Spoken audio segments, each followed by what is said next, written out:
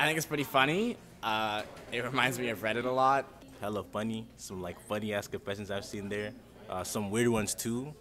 Um, it's pretty like shocking.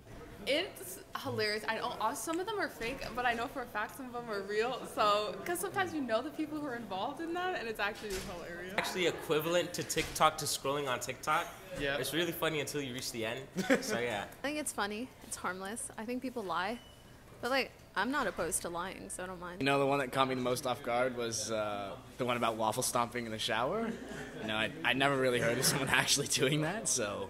If I remember correctly, it was a girl, and she wanted to get railed by someone's skis from someone who lived in a floor above hers. Uh, the one that made me laugh the most is definitely the one, the guy who said he took a shit on one of the floors, the size of a baby. That's wild. Either wear while you wear your skis, or with the skis.